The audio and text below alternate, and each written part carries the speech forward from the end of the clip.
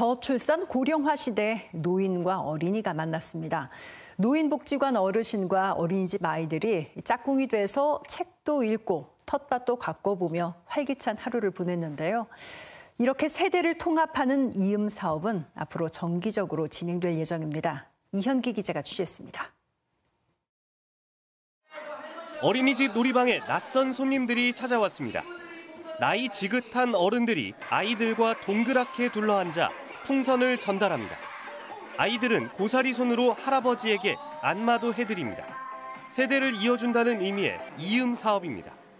약수 들어가자. 약수 들어가자. 약수? 응.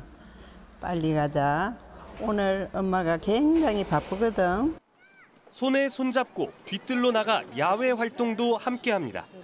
숲속 탐험을 하며 꽃 이름을 배웁니다. 만남이 이루어지는 곳은 직장 어린이집입니다. 텃밭과 숲길, 공원 이런 모든 것들이 배움의 장이 되고 있습니다. 어린이집 옥상에선 텃밭 가꾸기가 한창입니다. 할머니의 도움을 받아 시감자를 밭에 심어봅니다. 옳지. 깍깍 눌러. 옳지. 옳지. 아이도 어른도 모두 만족합니다. 아이고 재밌었어요. 어, 요 꼬마 애들 얼마나 귀한 애들. 애들이 얼마나 귀합니까, 그죠? 아직까지는 있는 사람 맞아요. 할머니랑 같이 감자 먹을 거예요. 아이들은 할아버지 할머니의 따뜻한 손길을 느끼며 행복한 하루를 보냈습니다.